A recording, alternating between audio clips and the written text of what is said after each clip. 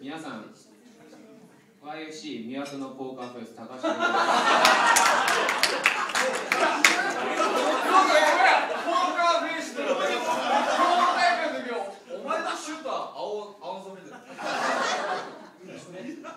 僕は前々から何か持ってる。とは思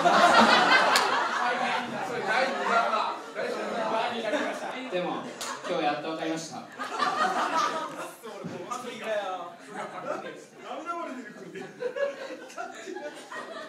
僕が持ってるのは？仲間です。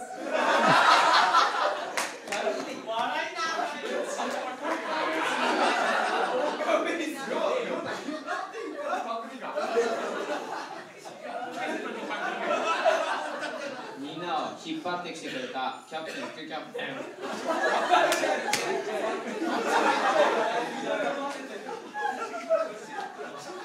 大事なところで助けてくれたスーパースタ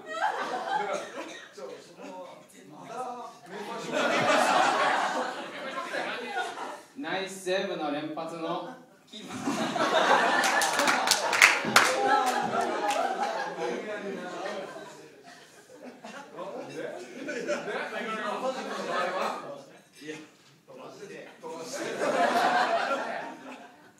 何でもできる。清水修斗君そ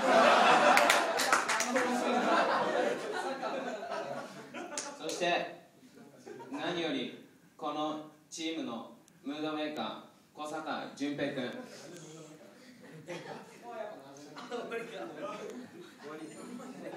この皆さんの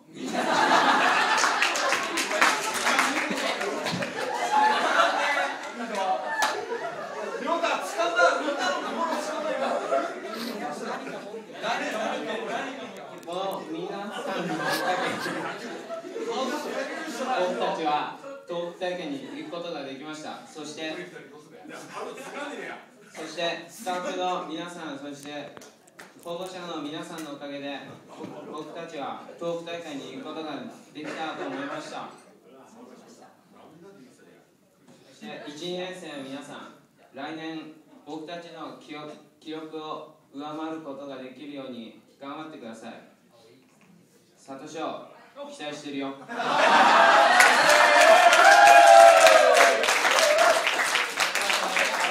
今までありがとうございました。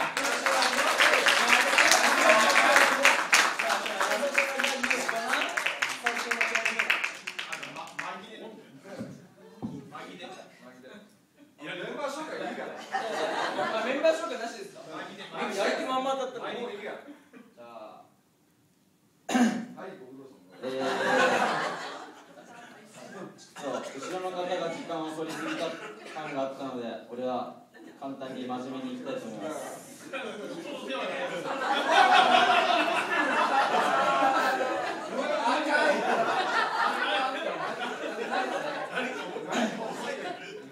えーまずこのチームに入ってですね1年生の頃ですかね。あの伊藤亮君のお兄様たちがいた時代の時でございますね。フットサルで。えーあのフットサルで先輩たちが東北を目指している時にまああの練習相手としてミニゲームちょいちょいやってたんですけどその、まあ、先輩たちにかなうところが一つもなくてボッコボコにやられてたんですけどその時に何ていうんですかねこのチームっていうかこの3年生はなんていうんですか先輩だからしょうがないとかそういうのなしにしてめっちゃ本当に本気で先輩たちに勝ちたいって言って練習の合間にみんなでこのなんていうんですかこの7人でこう円を組みましてあのどんな風にやったら強くなれるかっていう、えー話し合いをしてたのが非常に印象深く残っています。その時にあのシュート君を中心にどんな風に戦うかとかすごい考えたわけですけどそのあキャキャプテンもキャプテンでちゃんとやってたかな、うん、その時からその時からってその時にですねあのこのチームでなんかでっかいことやれんじゃねえかな的な感じで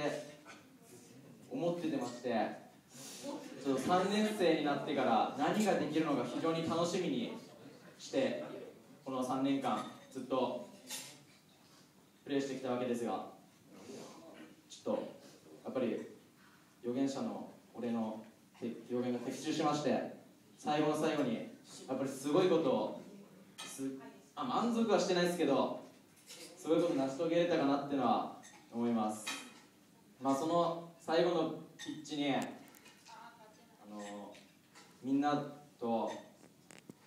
立てなかったのは非常に悔しいですけど あのこのメンバーで3年間一緒にプレーできて、えー、本当に良かったです、えー、それを、えー、支えてくれたコーチやスタッフの皆さんと、え応援してくれた芸の皆さんには本当に感謝したいと思います、えそれとやっぱり3年生をバックアップしてくれた12年生にも本当に感謝したいと思います、え残念ながらプレー最後に一緒にピッチに立つことはできませんでしたけど、えー、全国に行くってみんなが俺のこと連れてってくれるって言ってくれたので、えー、リハビリもちゃんと乗り越えて今、えー、軽く運動できるぐらいまで、えー、回復して医者にもすごい回復力だって言われて驚かれてそれを支えてくれたのは本当にこのメンバーだったと思います、えー、中学校最後はちょっとかっこ悪い形で終わってしまいましたが受かれたら高校合格して、えー、まあ、みんな違うチームかもしれませんがまた同じピッチでプレーできるように頑張りたいと思います。ありがとうございました。